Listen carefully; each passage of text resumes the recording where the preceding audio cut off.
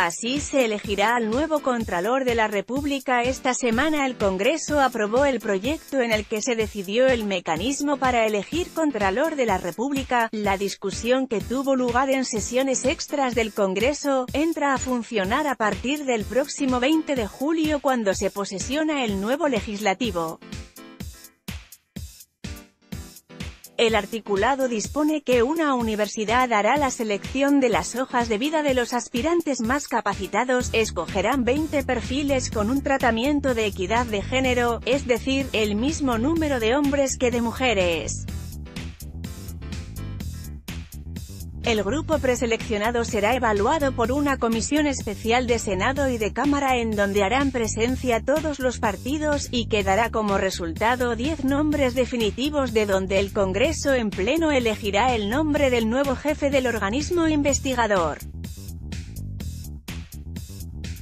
El reemplazo del actual Contralor, Edgardo Maya Villazón, deberá conocerse antes del mes de agosto cuando termina su periodo.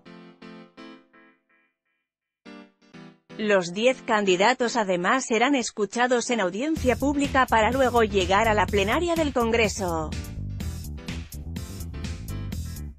La elección incluso puede tener una doble vuelta si ninguno de los candidatos logra la mayoría. La represente a la Cámara, Angélica Lozano, la calificó como muy buena noticia para el país porque se garantiza que este funcionario se escogerá por mecanismo de mérito. A su turno el presidente de la Cámara, Rodrigo Lara, reconoció que alrededor de ese proyecto que brinda las herramientas para escogencia del Contralor, hubo una discusión álgida, pero, al final se impuso el criterio de transparencia y de mérito. Nosotros siempre propusimos que hubiera un tercero, un actor externo que nos ayudara a hacer un filtro de la convocatoria pública para elegir al Contralor. Un filtro que garantice transparencia, agregó. Contexto de la noticia